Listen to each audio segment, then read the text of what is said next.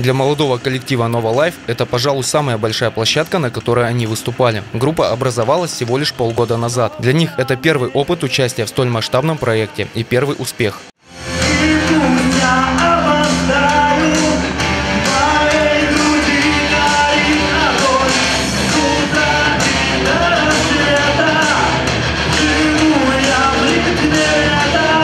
Анапу представляли сразу две группы, играющие рок. У Iron Twist за плечами участие не в одном фестивале. Тем не менее, признаются, каждый раз волнуются. Конкуренция довольно серьезная. В таком составе мы уже второй раз на свежем ветре.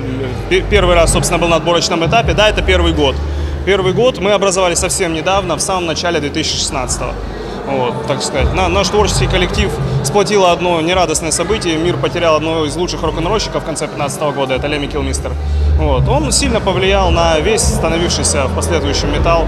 И, собственно говоря, решили продолжать его дело, потому что оно не должно просто так закончиться на этом. Главная цель, которую поставили перед собой организаторы фестиваля – дать возможность ребятам показать себя. Кубань, по словам Жанны Винник, богата на таланты. Помочь им на первом этапе – основная задача этого мероприятия. Фестиваль является хорошей стартовой площадкой, отличной стартовой площадкой для участников, а, потому что многие из них смогли себя реализовать. На сегодняшний день они выступают на лучших площадках не только Кубани, но и страны со звездами, которые имеют не только всероссийское имя, но и международное. По итогам зонального этапа фестиваля жюри определило будущих участников финала, который пройдет летом в Краснодаре. В номинации «Хард Рок» победила группа One More Band из Новороссийска. Light Rock – коллектив Северского района «Открой свои глаза». Рэп-соло и рэп-группа стали лучшими представителями нашего города – команды DM и TBC.